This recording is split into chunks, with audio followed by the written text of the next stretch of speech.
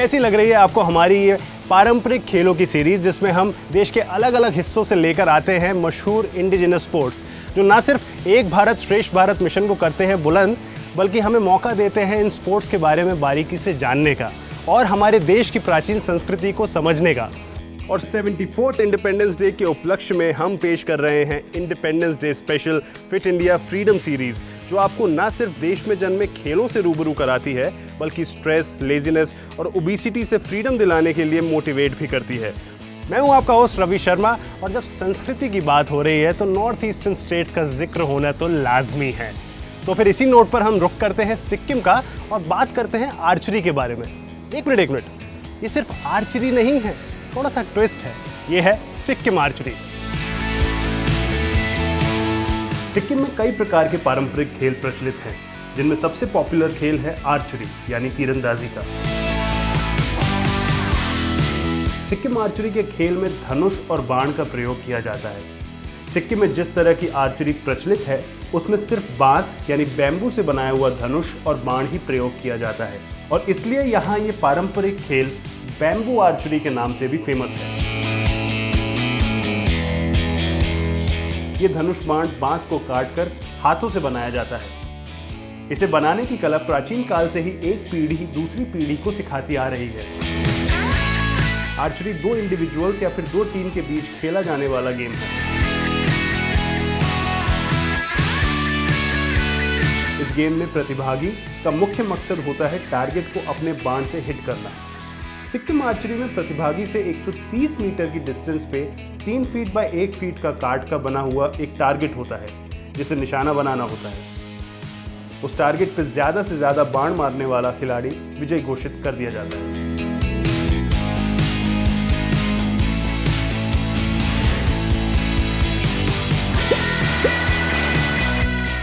सिक्किम में धनुर्विद्या प्राचीन समय से ही चली आ रही है।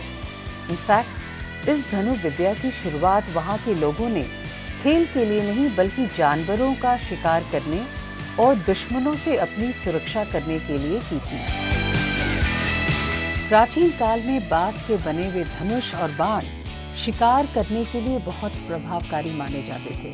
धीरे धीरे सिक्किम के लोगों ने आर्चरी को एक एंटरटेनमेंट के रूप में भी उपयोग करना शुरू कर दिया। जब किसानों के पास फ़सलों की कटाई के बाद खाली समय होता था, तब ये लोग मिलजुल कर आर्चरी का खेल खेलते थे।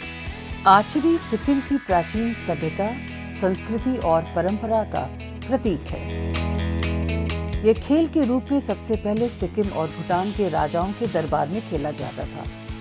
इस खेल में न सिर्फ़ शाही खानदान के धनुधर भाग लेते थे, बल्कि शाही खानदान के दोनों राजा भी इस खेल के शौकीन थे। आर्चरी का पहला आधिकारिक खेल रॉयल ग्राउंड में खेला गया था, लेकिन धीरे धीरे ये खेल आम लोगों के बीच भी काफ़ी लोकप्रिय होने लगा।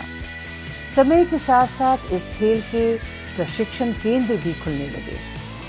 ये एकमात्र ऐसा खेल है जो आज भी निर्विवाद रूप से सिक्किम की संस्कृति का अहम हिस्सा है। भाई, राजशाही दरबार से शुरू हुई इस खेल की परंपरा ने आम लोगों के बीच में आकर सिक्किम आर्चरी को और भी पॉपुलर बना दिया है। तभी तो हम और आप घर बैठे इस बेहद रोमांचक खेल के बारे में जान पा रहे हैं। वैसे आपने एक इंटरेस्टिंग बात नोटिस की होगी। सिक्किम आर्चरी का गेम फॉर्मेट ही नहीं, बल्कि इसमें यूज़ होने वाला इक्विपमेंट भी बहुत रोचक है। तो चलिए पहले इन्हीं के बारे में समझते हैं और जानते हैं इन्हें कैसे बनाया जाता है।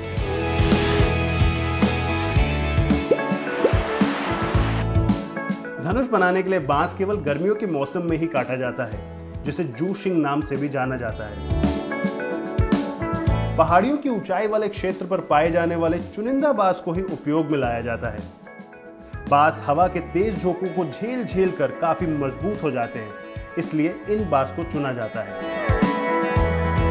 बाँस के घुमावदार हिस्से को सावधानी पूर्वक काटा जाता है, जिसके बाद इसे थाप, यानी मिट्टी से बने पारंपरिक चूल्हे पर सीजनिंग या लकड़ी को पक्का करने के लिए कुछ महीनों के लिए रखा जाता है। लकड़ी के इस टुकड़े को थाप से बाहर निकालकर सर्दियों के दौरान पॉलिश किया जाता है। पारंपरिक धनुष दो प्रकार के होते हैं। एक चार झू है, जहाँ धनुष बाँस के पूरे घुमावदार हिस्से से बना होता है। दूसरे को ताप झू कहा जाता है, जहाँ बाँस के दो टुकड़े एक तार से बंधे बाँस के वायर से जुड़े होते हैं। जू था या सरल शब्दों में स्ट्रिंग पहले बुने हुए रेशों द्वारा बनाई जाती थी, लेकिन बाद में इनको बनाने में जूट फाइबर का प्रयोग किया जाने लगा। तीर या एरो को देंगवालों के रूप में जाना जाता है।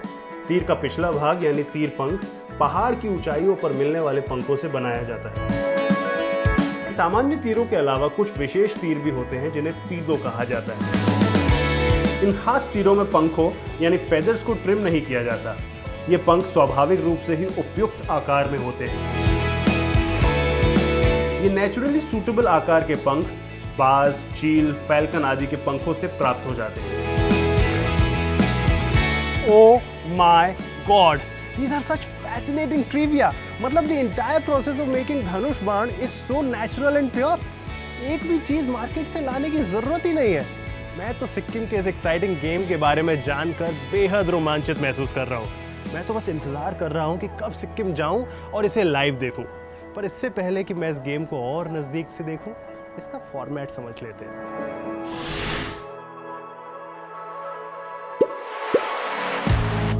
सिक्किम में खेले जाने वाले प्रारूप में एक टीम में सात खिलाड़ी शामिल होते हैं, जहाँ पहले निशानेबाज को फूदा कहा जाता है। टीम के सबसे अच्छे खिलाड़ी को आखिर के लिए बचा कर रखा जाता है, जिसे मधा कहा जाता है। प्रत्येक खिलाड़ी को दो तीर मिलते हैं, जो ऑल्टरनेटिवली शूट करते हैं। प्लेइंग एरिया भेदों में लकड़ी के बने दो टारगेट होते हैं, जो मैदान के विपरीत छोर पर तय किए जाते हैं। टारगेट्स के पीछे एक शील्ड रखी जाती है, जिसे बारिप कहा जाता है। सिक्किम आर्चरी में उपयोग किए जाने वाले कुछ शब्द इस प्रकार हैं। करी मतलब टू पॉइंट्स यानी कि जब खिलाड़ी टारगेट के बीच में हिट करे। दगा मतलब एक पॉइंट यानी कि खिलाड़ी जब टारगेट के करीब हिट करे। इस तरह से कुल 35 अंक या पॉइंट्स तक गेम चलता है। फेरी एक खिलाड़ी एक लक्ष्य को प्रतिद्वंदी के समान रूप में मारता है। चारों, जब एक ही टीम लक्ष्य को हिट करती है। शेडो रेफरी के द्वारा तारीफ़ किया जाना। विनिंग टीम एक धन्यवाद समारोह का आयोजन करती है, जिसे भाचेशी कहा जाता है। जब भी खेल शुरू होता है, तब शूटर को चिढ़ाने के इरादे से विरोधियों को छेड़ा और ताना मारा जाता है और ये एक काफ़ी प्रचलित परंपरा का हिस्सा है। देखा आपने? अनिल, सुना? वही कि आप शूटर को ताने मार सकते हैं, छेड़ सकते हैं। मतलब पॉसिबली ये देश का पहला ऐसा पारंपरिक स्पोर्ट है जिसमें प्लेयर्स का ध्यान भटकाने के लिए आप ऑफिशियली स्लेजिंग कर सकते हो। हाउ कूल इज़ दैट बस यही तो बातें हैं जो बनाती हैं हमारे राष्ट्र को विविधताओं का देश। वैसे देश ही क्यों? हमारे पड़ोसी देशों से भी लोग सिक्किम आर्चरी ना सिर्फ़ देखने, बल्कि पार्टिसिपेट करने भी आते हैं। वॉट यू डोंट बिलीव आपको हम बता देते हैं सिक्किम आर्चरी की करंट पोजीशन आप खुद ही समझ जाएँगे।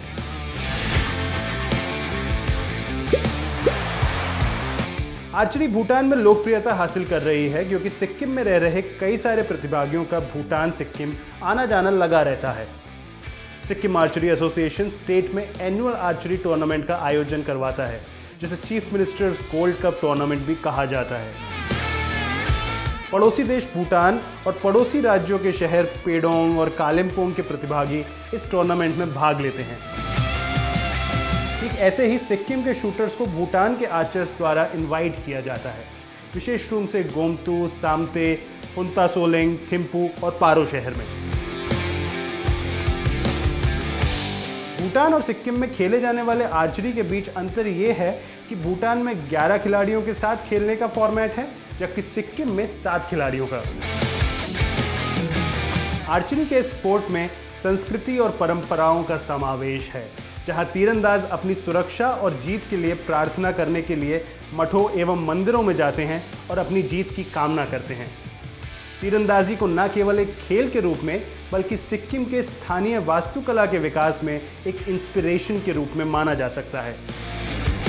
ये आज भी मठों या मोनेस्ट्रीज के स्तंभों के ऊपर देखा जा सकता है, जहाँ खंबे बड़े और छोटे कर्व्स में धनुष की तरह आकार में छत तक जा रहे होते हैं। इस गेम के बारे में देखकर, सुनकर और समझकर मुझे तो बस एक ही फीलिंग आ रही है। मुझे सिक्किम जाना है। और जाए भी क्यों ना? सिक्किम आर्चरी की पहचान हर छोटे बड़े कस्बों में तो है ही। इसका ज़िक्र बड़े बड़े मठों के पिलर्स तक में देखने को मिलता है। वैसे आई एम प्रिटी श्योर कि आप भी सिक्किम जाएँगे सिक्किम आर्चरी को देखेंगे, लेकिन इससे पहले कि आप सिक्किम जाएँ, हमारे महान देश के महान पारंपरिक खेलों को ज़रूर देख लीजिएगा। यहीं फिट इंडिया एक भारत श्रेष्ठ भारत मिशन के indigenous sports of India show में, फ़िलहाल के लिए मैं लेता हूँ विदा। Till then stay fit stay healthy goodbye